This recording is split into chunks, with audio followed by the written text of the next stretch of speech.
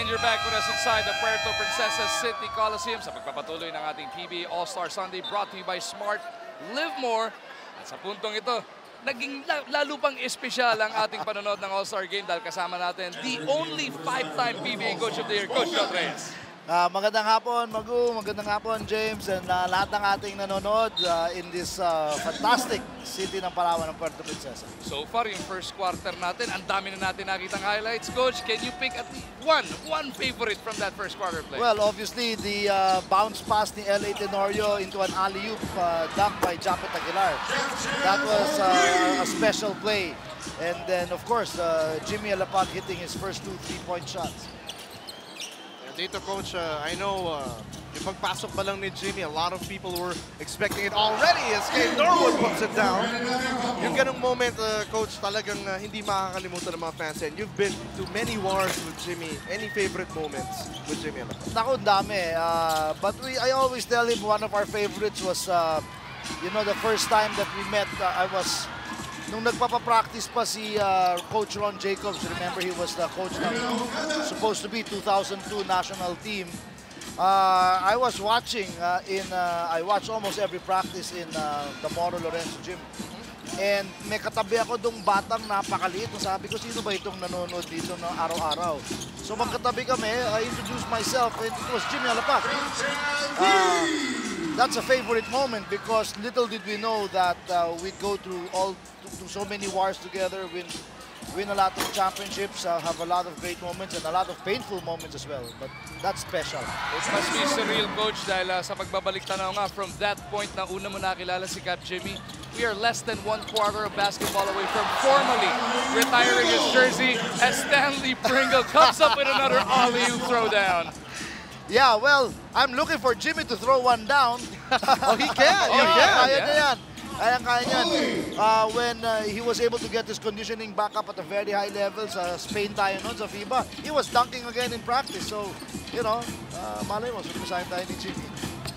Why not? This is uh, one last time na mapaparoon natin si Cap Jimmy. Ito, matagal ko na gusto makita to, Coach. Ito si Bo Belga playing the point. And I've seen Belga dunk as well, pero mintas lang Oo. yung layup. Dumandang ka sa kanina sa warm-up, sabi ko, ba- bata, baka masaktan ka. Masaktan si Bo, masaktan yung ring. si Bo, natatakot ako. Yan. 58-49, Coach. Bukod kay Jimmy Alapag, so many of the Gilas boys in this All-Star game and just featured game on this Sunday. It must be a proud moment din para sa'yo. Yes, definitely. Uh, yun naman gusto natin mga coaches to watch our players doing well and on a different field. Pero speaking of Gilas, a very interested uh, spectator here is Coach Tab Baldwin. Uh, Coach Tab has been here since Friday. And uh, aside from watching, of course, Tab watches these guys every day in the PBA. But he wanted to take the opportunity to sit and, and talk to the guys. Gusto niyang makilala ang pagkatao ng mga players because uh, we're very similar in that sense that napaka-importante sa amin yung character at Yes. pagkatao ng player. So Tab took that opportunity to to to uh, have a, a good uh, conversation with, uh, with with all the guys that are out here. And I have a witness, Coach Tab Baldwin, having group conversations and having one-on-ones with different individuals. Hindi na ako magbibigay muna ng mga pangalan. Baka magsimulang chismis na naka-line up na kagad. Tsaka na yan. Antayin na lang natin sina Coach Tab. Yes, kasi si Tab talaga, sinabi naman niya, he's going to pick the best team, not necessarily the best in- collection of individual talent. So, napakalaking bagay nung kailangan niya malaman sino magiging magkakasundo sa, sa team na pipiliin niya. Inaantay ko nga makipagkwentuhan sa akin ng mahaba-haba eh. Hindi interesado Ayaw, eh. ayaw. Bahala daw ako sa buhay ko. Well, Coach, in the same way na nakita mo mag-blossom ito si Jimmy Alapag from just a young talent to now a legendary figure in Philippine basketball. And I'm sure si Tab Baldwin, ganun din yung opportunity ngayon. Nakikita niya yung mga batang talents dito sa ating PBA. Yes, and you know, the two of them uh, are, are in full display here. That guy, Stanley Pring- Pringle, unfortunately, he's ineligible to play for the national team. Ay, ay, ay, buti na lang si Coach na nagsabi. Ang Yes. dami nagtatanong yan, He Coach. is eh. ineligible. Uh, bago pa nasa ABL pa si Stanley Pringle in, in the uh, ASEAN Basketball League, nag-usap na kami, nag one-on-one na kami niyan. We had uh, we had dinner in uh, one of the restaurants sa may Robinson sa, sa Ortigas eh. And uh, I, I, I took uh, I asked him about his uh, background, his parents, his lineage, and hindi talaga pwede unfortunately because pumasok na yung, yung rule na yan nga nung, nung FIBA na hindi siya pwede. So sayang. But the other guy here is Terence Romeo. And uh, ang sinasabi ko talaga dito, the only thing stopping Terence from playing in the FIBA, in the top level, international level is uh, can be a playmaker. Uh, we're seeing now that he can score when he has a Stanley Pringle playing be- beside him or an R.R. Garcia nung nasa college siya. But can he be that point guard for for for Gilas? Because I don't, uh, baka mahirapan siya to have another small point guard beside him.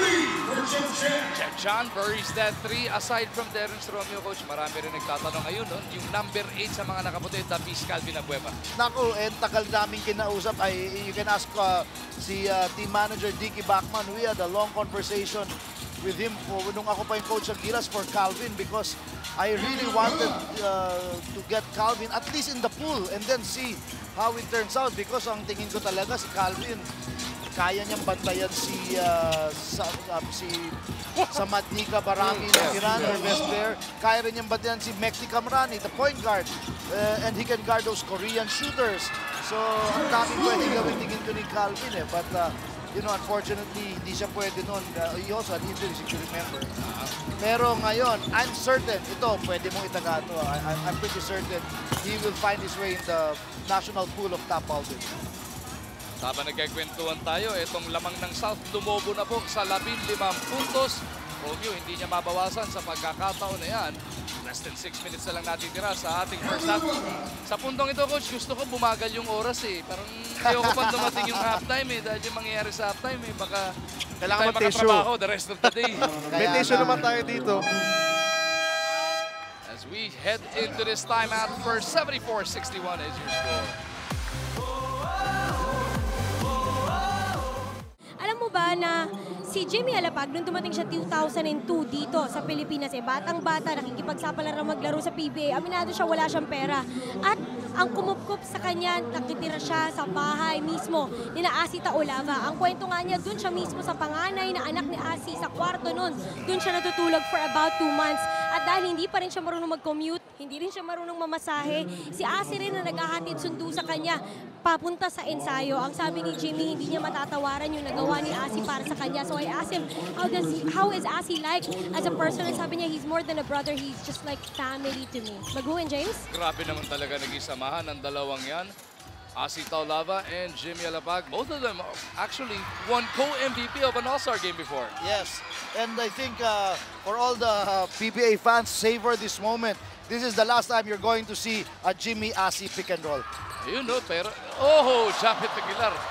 Trying to spoil the party sa pagkakataon na yun. Oh! Romeo bothered by the defense of Barroca. Erwin Santos cleans it up. One generation of an FEU tama raw to another. Nagmintis si Romeo, kinuha naman. Ito si Arwin Santos as Baroka. The other FEU Another tama. FEU. Nagtatawanan tuloy itong magkuyang taga FEU. Oh. Change ball tayo dito. Sobrang ah, ah, dulas na nung bola. Um, Magu, uh, during practice, napag-uusapan nga natin itong uh, ball handling skills si Terence Romeo. Madami nating, uh, mamaya ikukwento natin yan, pero Magu, Ah, punta muna natin si Miss Erica. Erica? Hello? Hello? Sino, sino? No, no, no. It's Mr. President. It's a little hot in here. I can't see straight. But Arwen, Arwen 2-1. That's what he does. High elevation, high off the fingertips. That's what made him all star right there. Ah, it is Gabe Norwood. This is true. Oh, oh, oh. Aussie with a dunk? No. Ah! Another chance with the travel? No call, but he gets it. Man, if I could pull off Ossie's hair, I still wouldn't try it. But to each his own. To each his own. He makes it work. That's a lot of gold.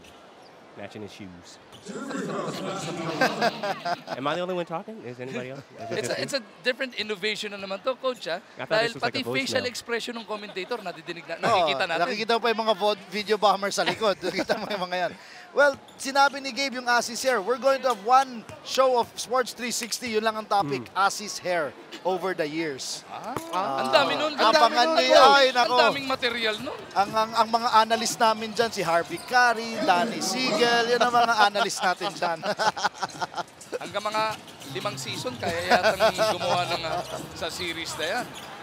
Coach, you announced before that uh, you have stepped away completely from coaching. And uh, of course, uh, ang isa mong pinagkakaabalan ngayon ay ang ating uh, sports5.ph and uh, Yes. patuloy ang paglago ng www.sports5.ph. Oo, uh, we're, we're very uh, pleased with uh, with the progress ng sports5.ph and uh, yung uh, amount of content that we have there from our PBA games lang and all our other sports coverages. You know that, both of you sit on our different panels. Uh, meron tayong volleyball, meron tayong NCAA, meron tayong football, uh, you know, so ang dami dyan. And then our original sports content, yung mga shows kagaya ng On-Cam, uh, The Pro Show, yung, uh, yung, yung ano, fantasy, uh, ina, yung, yung fantasy uh, show, uh, Magu.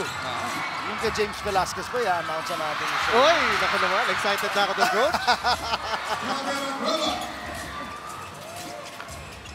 So kung ah, kayo po ay may oras, mag-log on lang sa www.sports5.ph as Mark Baroka buries that three.